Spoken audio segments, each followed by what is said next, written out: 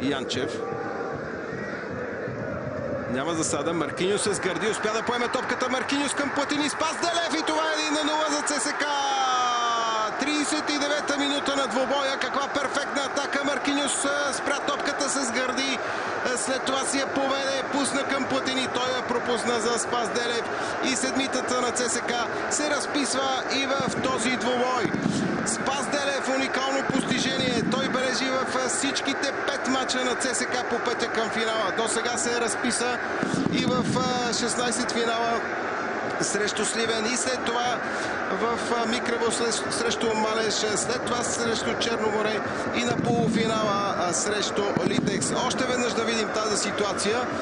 Тук при този пас имаше съмнение за засада, но тя не знам дали бе точно на Спас Делев. Маркиньос не бе в засада и може би това е породило решението на реферите да продължат играта. Видяхте и хубавия паса на Маркиньос. А ето я и радостта в щаба на червените. Иван Караджов, както винаги, прегръща Вилея Родоканов, дори го и подритва от радост. И така ЦСК с важен гол, вече с преднина в финал в турнира за Купата на България след попадението на Спас Делев. Евил Петров към Басо. Тук има нарушение на бразилеца срещу Спас Делев, който остана да се превива на терена.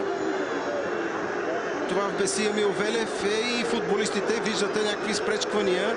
Играчите на Славия награбиха тъч рефера. Тук е Емил Велев. Може би трябва четвъртият рефер да се намеси. Много силна реакция от страна на славистите за това, което стана преди малко. Сблъскването между Басо и Спас Делев след което седмицата на ЦСК остана да лежи на терена. Още веднъж ситуацията с лакът Басо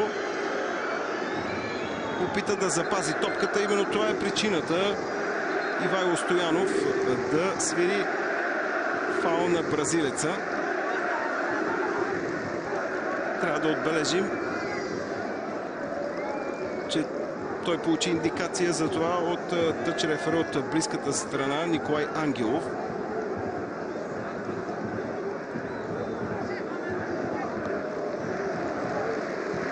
Спас Делев се надига, държи се за главата и напуска очертанията на терена, за да получи медицинска помощ. Може би тук, ето в тази ситуация, Спас Делев е бил ударен с десния лакът от ръката на Жосиас Пасо.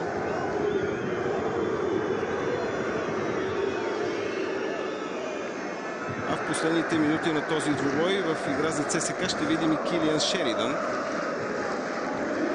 Той чака да влезе като смяна до страничната линия. Естествено, червените не бързат да подновят играта. Вероятно това ще бъде отразено. А Басо получава червен картон.